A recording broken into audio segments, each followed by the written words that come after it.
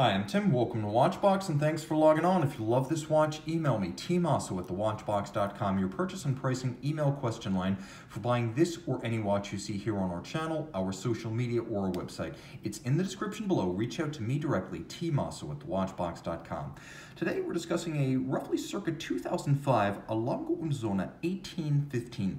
Slim, no-nonsense, sophisticated in detail, and universal in its style. This watch in platinum is 35 5.9 millimeters in diameter by only 7.6 millimeters thick and from lug to lug 42.8 millimeters with a 19 millimeter spacing between the lugs. Throw it on my wrist, 16 centimeters circumference, and you can see this is very akin to a mid-20th century men's dress watch. Dimensionally and proportionally, of course, the watch is elegant, graceful, and versatile. You can see this head-on shot with plenty of wrist clearance. The cuff shot, it'll fall under any cuff or sleeve. And then down the barrel, you can see I really have to pull the strap down to tighten it because it is petite watch in most regards, but look how much clearance I have on both sides of my wrist. Anyone can wear this watch well, and if you've got a bigger wrist, smaller is a vintage style, so it's not necessarily out of fashion. It's a good look, graceful, and if you want to wear an expensive watch without drawing a lot of attention, a more discreet size is recommended. Black strap, large rectangular scale alligator leather, semi-gloss finish. You see there is a folded edge and a monotone stitch, and then there's calfskin on the underside.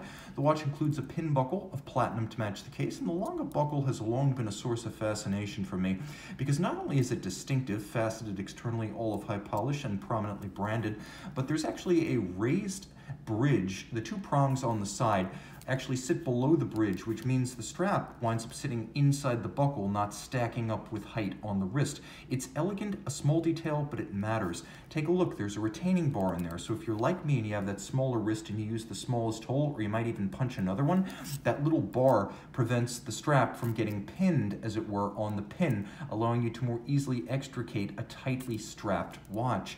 Taking a look at the case, it's familiar Lange, a combination of stepped out lugs, satin mid case, and then a polished polished case back and bezel. The bezel has a little vertical portion outboard, but for the most part it's domed. The timepiece is simple, elegant, few details but well chosen, with an A. Lange & Söhne brown branded crown, sapphire crystal of course, but the watch has a dial that is both silver in color and silver in composition. It is made of sterling silver, so it's cut and then it's galvanized this silver white. We're looking at the 1815 model. You know that because we have the Arabic numerals vertically arrayed. There's a railroad track outboard.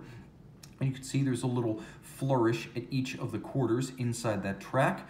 The watch features Fired steel hands at center, they are alpha style, pinched at their root rather than the heavier Dauphine. I like this.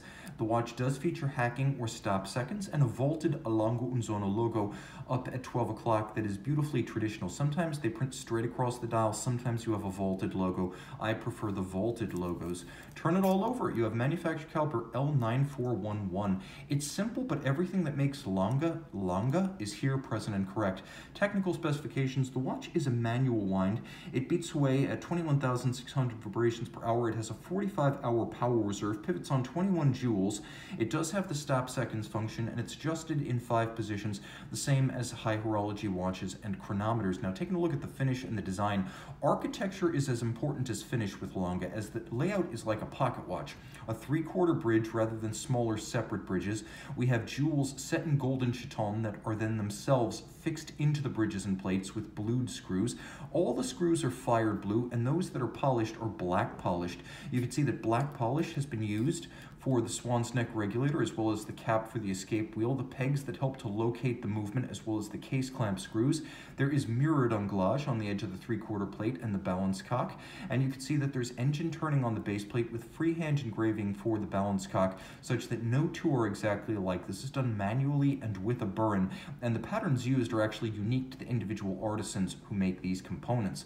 This watch is glorious in every regard with that golden hue of the bridges due to the use of nickel copper copper zinc, the copper giving it that golden hue. This is often described as German silver. In fact, what it is is that nickel copper zinc alloy as would have been used in the 19th and early 20th century on pocket watches.